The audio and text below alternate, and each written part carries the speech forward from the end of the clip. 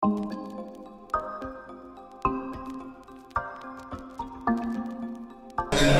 right, Joseph, the experience shows tonight, man. Uh, you, you still boxing, man. What, how long you think you got to go in boxing, man? How, how many more years you want to go? Uh, as long as uh, my strength can take me, you know, you can't deceive, you can't deceive nature. Uh, when the body can go, you know it. When the body can't go to, you know it. If you can take the punch, if you can stand the punch, if you can give it, then that means you can. But when it gets a time when you start feeling your body, then you know you have to call it a fit. And as at now, my body is ready. My body can take anything in the ring. So I think I'm good to go as long as my body permits me.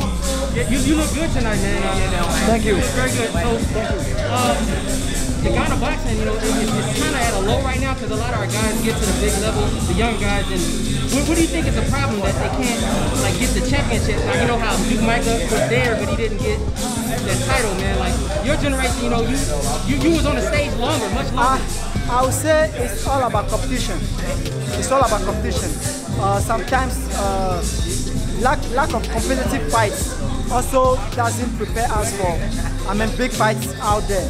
Uh, during my time, you we fighting each other, crack fighters. So whenever you get to the top, you know you are ready for it. But now there has been a little, a little business around the business. So sometimes you see a boxer who is qualified at the top who can do it, but he's not able to do it. But to Duke Micah, uh, I think Duke Micah is a great boxer.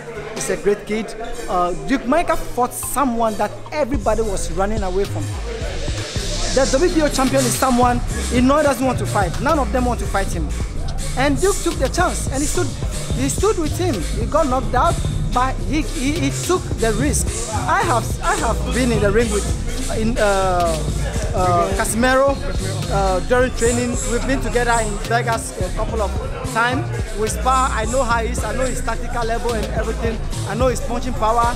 And I think Duke did just fine with him. People will say Duke look bad, look this, but he's a dangerous fighter. The one he fought, he fought a dangerous fighter. Last question, man.